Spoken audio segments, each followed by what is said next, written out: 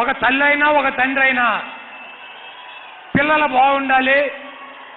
వాళ్ళు చేసేటువంటి కార్యక్రమాల్లో వాళ్ళకు విజయం లభించాలని చెప్పి మనస్ఫూర్తిగా కోరుకుంటారు. విజయమ్మ గారికి ఇద్దరు పిల్లలు. ఈరోజు ఇక్కడ జగన్మోహన్ రెడ్డి గారు అక్కడ షర్మిలమ్మ ఇద్దరు రెండు దారులు నడుస్తున్నారు రెండు రాష్ట్రాలని ప్రాతినిధ్యం వహిస్తూ. కాబట్టి ఇక్కడ జగన్ బాబుకి కానీ అక్కడ షర్మిలమ్మకి కానీ ఇక్కడ ఉన్నటువంటి ఈ పచ్చం మీడియాకి కానీ ఇబ్బంది లేకుండా నా పదవికి నేను రాజీనామా చేసి ఒక తల్లిగా కొనసాగుతానని చెప్తే నిన్న మధ్యాహ్నం నుంచి ఈ ఫోర్ ట్వంటీ నా కొడుకులు ఒక అమ్మకి ఒక అప్పకి పుట్టినటువంటి ఈ ఫోర్ ట్వంటీ నా కొడుకులు ఏం మాడతారు వీళ్ళకు ఒక అమ్మ ఉందా ఒక అప్పు ఉన్నాడా? విజయమ్మ గురించి ఏం మాడతారు ఈ రాష్ట్రానికి వైఎస్ఆర్ కాంగ్రెస్ పార్టీకి వైఎస్ఆర్ కాంగ్రెస్ పార్టీ కుటుంబ సభ్యులకి తండ్రి రాజశేఖర రెడ్డి గారు అయితే తల్లి విజయమ్మ. వైఎస్ఆర్ కాంగ్రెస్ పార్టీ గౌరవాధ్యక్షురాలు పదవికి రాజీనామాలు చేస్తే తల్లి ఉద్యోగం పోతుందా? ఈ దేశంలో ఈ ప్రపంచంలో తల్లిని మించినటువంటి స్థానం ఏముంటుందా? తల్లిని మించినటువంటి స్థానం ఏముంటుందా? నేను తల్లిగా ఉంటా. నా బిడ్డలిద్దరూ బాగుండాలి. నాకు పదవి ముఖ్యం కాదు. నేను ఎప్పుడు కావాలంటే అప్పుడు మీకు అండగా ఉంటాను. నా పిల్లలు బాగుండాలి. నా గురించి వాళ్ళు ఇబ్బంది పడకూడదు. నేను తల్లిగా ఉంటానని చెబితే ఈ దిక్కుమాలిన తల్లి విలువ తెలవన్నటువంటి తల్లి గురించి తెలవన్నటువంటి ఈ ఫోర్ ట్వంటీ నా కొడుకులు నిన్న మధ్యాహ్నం నుంచి ఆవిడని తీసుకొస్తారు. రాజశేఖర్ రెడ్డి గారు తండ్రి రాజారెడ్డి గారు అంటారు. రాజారెడ్డి గారిని వదలరు. రాజశేఖర్ రెడ్డి గారిని వదలరు. జగన్మోహన్ రెడ్డి గారిని వదలరు. జగన్మోహన్ రెడ్డి స్పెషల్ ఫ్లైట్ వేసుకెళ్ళాడు. నీ కొడుకు స్టాన్ఫర్డ్ అమెరికాలో ఉన్నప్పుడు నువ్వు నీ కుటుంబ సభ్యులు నడిచి వెళ్ళారా? ఫ్లైట్లో వెళ్ళక దేంటి వెళ్ళారు? లేకపోతే సముద్రంలో ఈదుకుంటూ వెళ్ళారా? ఫ్లైట్లో వెళ్ళారండి జగన్మోహన్ రెడ్డి. దేంటి వెళ్తారా ఫారిన్? అమెరికా నువ్వు దేంటి వెళ్తావు? ఫ్లైట్లో వెళ్ళక దేంటి వెళ్తావు? నడుచుకుంటూ వెళ్తావా? పూర్తిగా మైండ్ చెడిపోయింది.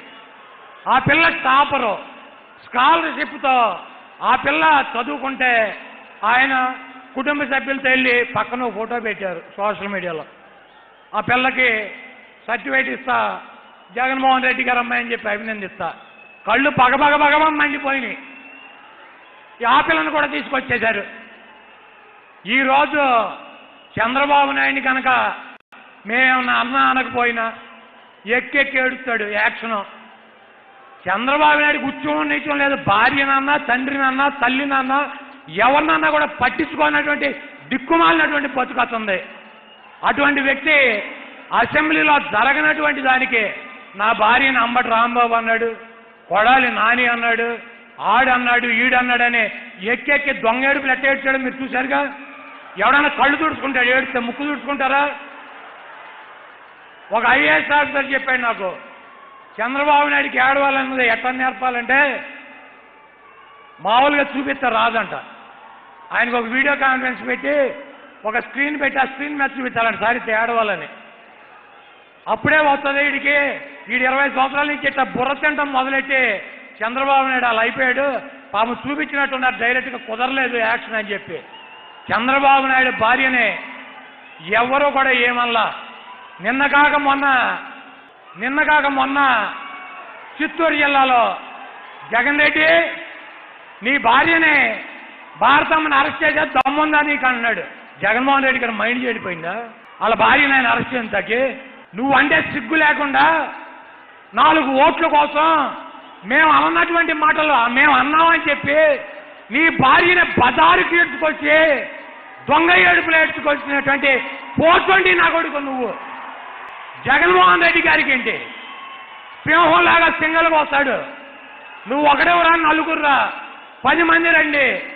మీకు రెండు వేల ఇరవై నాలుగులో మిమ్మల్ని రాజకీయ సమాధి చేసి మిమ్మల్ని మీ రాజకీయ జీవితాలని పాతాళంలో పాతి పెట్టి మిమ్మల్ని శ్రీ నారా చంద్రబాబు నాయుడు మానసిక వైకల్య కేంద్రంలో మీ నలుగురు ఫోర్ ట్వంటీ గాల్ని జాయిన్ చేసి మీకు శాశ్వతంగా అక్కడే ట్రీట్మెంట్ చేసేటువంటి బాధ్యత కూడా ఈ ప్లానరీ సందర్భంగా వైఎస్ఆర్ కాంగ్రెస్ పార్టీగా మేము తీసుకుంటాం. ఈ రాష్ట్రానికి పట్టినటువంటి శని దరిద్రం నిష్ఠ దరిద్రం మీ నలుగురిని ఈ పాత్రలు అమ్ముకునేటువంటి రామోజీరావుని పేపర్ మీద అమ్ముకుంటారు సైకిల్ మీద వచ్చినటువంటి ఈ రెండో దొంగ రాధాకృష్ణని బోడి ఉండి బొచ్చు వస్తుందని చెప్పి ఆయిల్ అమ్ముకున్నటువంటి బొచ్చు మీద డబ్బులు సంపాదించినటువంటి ఈ టీవీపై బీఆర్ నాయుడిని ఈ చంద్రబాబు నాయుడిని నలుగురిని కూడా రాజకీయంగా సమాధి చేయడానికి వైఎస్ఆర్ కాంగ్రెస్ పార్టీ ప్రతి కార్యకర్త ప్రతి నాయకుడు కూడా వీళ్ళు చేసేటువంటి కుట్రలను ఎప్పటికప్పుడు తిప్పి కొట్టాలని చెప్పి మీ అందరినీ కోరుకుంటూ. ఇవాళ చూస్తున్నాం మనం మనం ఓట్లేసి గెలిపించారు కదా కొత్త ప్రభుత్వాన్ని. బాధుడే బాధుడు అసలు ఇక్కడ దెబ్బతిన్న వాళ్ళు ఎవరు ఉన్నారో చేతులు ఎత్తండి పైకి.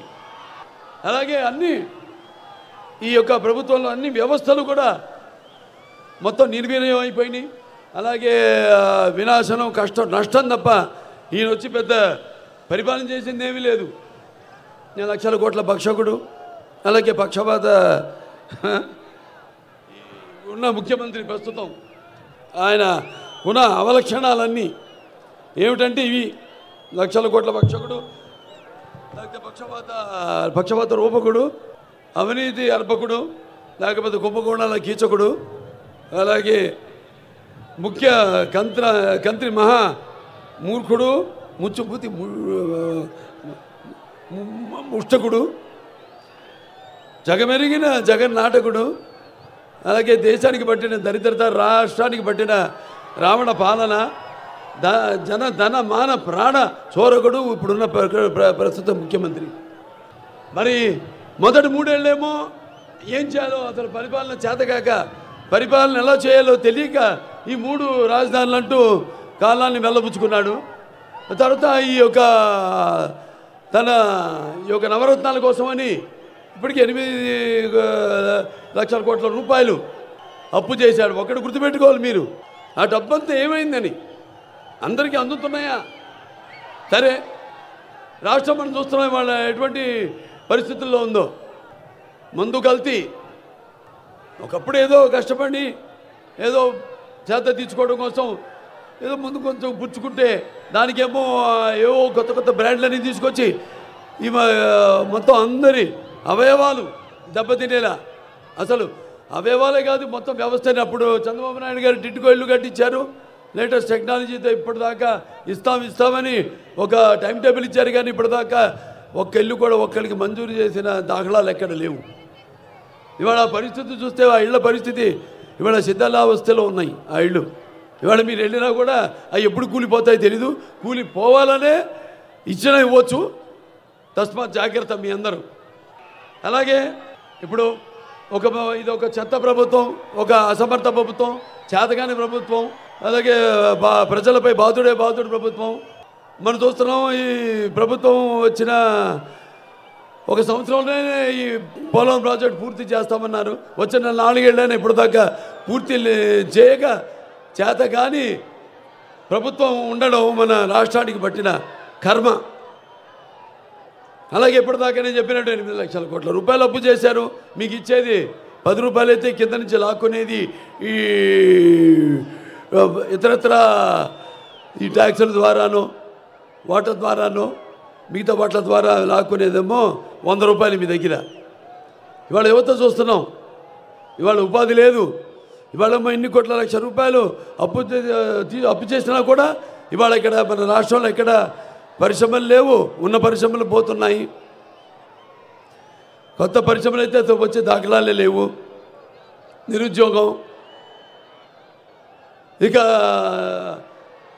మన దేశంలోనే డ్రగ్స్ అలాగే గంజాయి పెంచడంలో మాత్రం మన దేశంలో మన రాష్ట్రం మొదటి స్థానంలో ఉంది.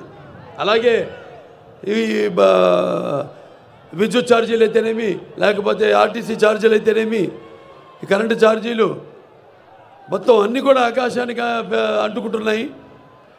అలాగే ఇవాళ భూ అలాగే ఇంటి మీద ట్యాక్సు అలాగే చెత్త మీద కూడా ట్యాక్స్ వేసి మధ్య తరగతి మనుషుల యొక్క కుటుంబాల యొక్క నడ్డి విరుస్తుంది ఈ ప్రభుత్వం. అలాగే ఈ యొక్క శాండ్ మాఫియా ల్యాండ్ మాఫియా అంటూ కొన్ని కోట్ల రూపాయల ప్రజాధనాన్ని దోచుకుంటున్నారు ఈ వైసీపీ నాయకులు. అలాగే ఈ ఐదు కోట్ల తెలుగు ప్రజల యొక్క కళల రాజధాని అమరావతి దాని ప్రసక్తే లేదు దాని గురించి అసలు వాళ్ళు పట్టించుకునే పాపానికి కూడా పోలేదు. అలాగే రాజధాని కోసం ఎవరైతే భూములు ఇచ్చారో రైతులు వారు చేస్తున్న ఆందోళనకైతేనేమి లేకపోతే న్యాయచరంగా న్యాయ ప- పరంగా వాళ్ళు వెళితే ముందుకి వాళ్ళపైన అరాచకాలు చేయడం ఇలాంటి ఎన్నో దౌర్జన్యాలకి పాల్పడుతున్నారు. అలాగే ఎవరైనా వాళ్ళ మీద ఏదైనా వేలెత్తి చూపితే చేసిన తప్పులు వాళ్ళని భయాందోళనకు గురి చే- గురి చేయడం ఇది వాళ్ళకు పరిపాటిగా మారిపోయింది. ఇప్పుడు రాష్ట్రానికి రాష్ట్రానికేమో రైల్వే జోన్ తీసుకొస్తానన్నారు. అలాగే ప్రత్యేక హోదా తెస్తామన్నారు. దాని ప్రసక్తే లేదు. అది ఇవాళ అసలు అన్ని వ్యవస్థల్ని నిర్వీర్యం చేసేసి కేవలం అరాచకం దోచుకోవడం దౌర్జన్యం వీటితోనే పప్పం గడుపుకుంటుంది ఈ ప్రభుత్వం.